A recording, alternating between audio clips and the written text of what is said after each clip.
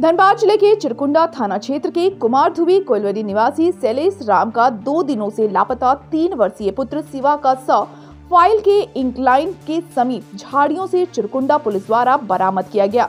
लापता शिवा का शव मिलने की सूचना जंगल में आग लगने जैसी फैल गई।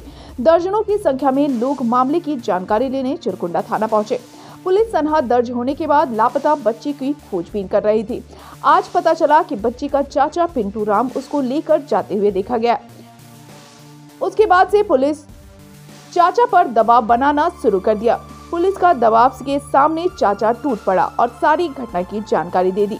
उसी के निशानदेही पर बच्चा को बरामद किया गया।